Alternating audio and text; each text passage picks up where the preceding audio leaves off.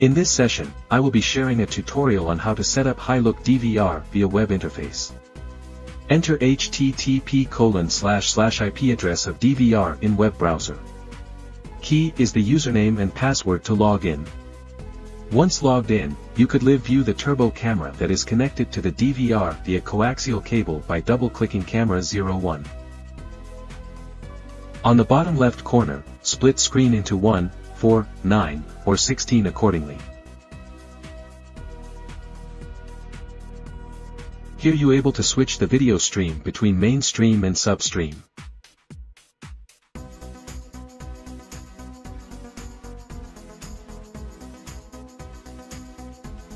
For more options, go to the configuration interface.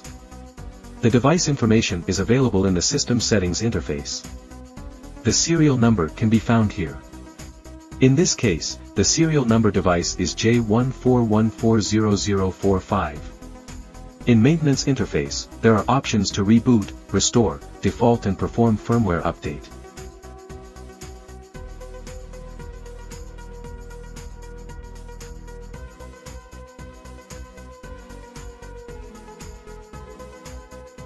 In video slash audio interface, select the relevant camera and there are options to change the resolution, video quality, video encoding and etc.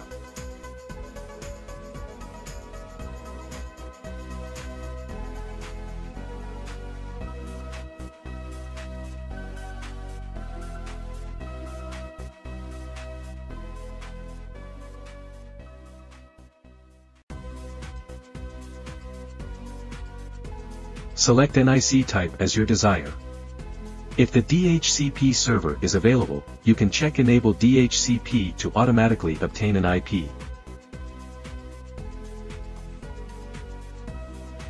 Next, in Image Setting Interface, Simple Image Display Adjustment is available.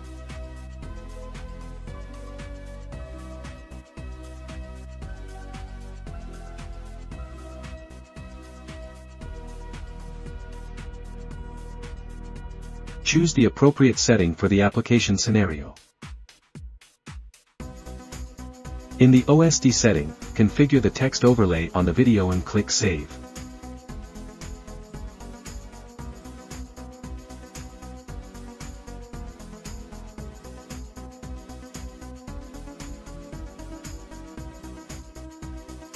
Now, in live view of camera 01 the text, room 1, can be seen on the top left corner.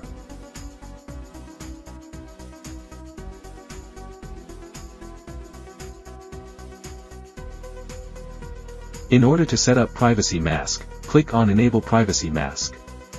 Then, click on Draw Area to start drawing, drag on the area that you wish to cover up in the scene.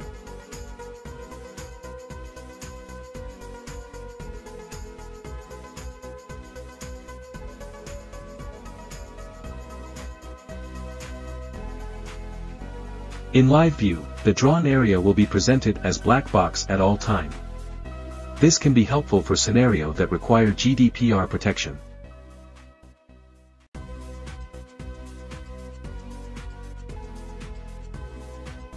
To set up motion detection. First, enable the event, draw the relevant area that needed protection. Avoid setting up motion alarm on a scene with moving plants or busy road.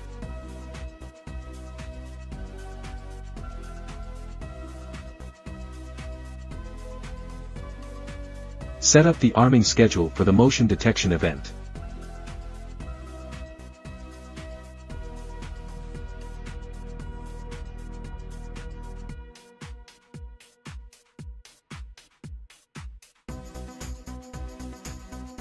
Select the alarm output linkage for that event.